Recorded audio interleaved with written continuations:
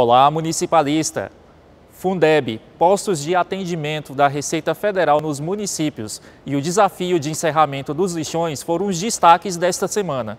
Confira agora. Foi divulgado o demonstrativo de ajuste anual do Fundeb referente ao exercício de 2018. O montante pode ser consultado no site da CNM.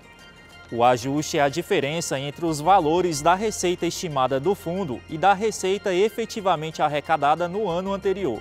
A CNM publicou orientações sobre uma portaria que define a estrutura de postos de atendimento da Receita Federal. A Portaria 270 começou a vigorar em 2018, mas ainda traz dúvidas sobre a possibilidade de custos adicionais para a administração municipal.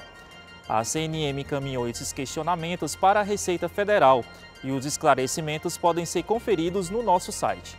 Mais uma vez, a CNM foi destaque na mídia nesta semana. O Jornal Nacional e o Valor Econômico destacaram temas municipalistas. O presidente da entidade, Glademir Harold, concedeu entrevista ao Jornal Nacional para destacar a necessidade de cooperação entre os entes federados no desafio de eliminar os lixões. Já o valor econômico ressaltou um estudo da CNM que aponta um ciclo de transferências da União aos municípios. Esse foi o Minuto Municipalista. Saiba mais sobre as ações da CNM no nosso site e também nas nossas redes sociais.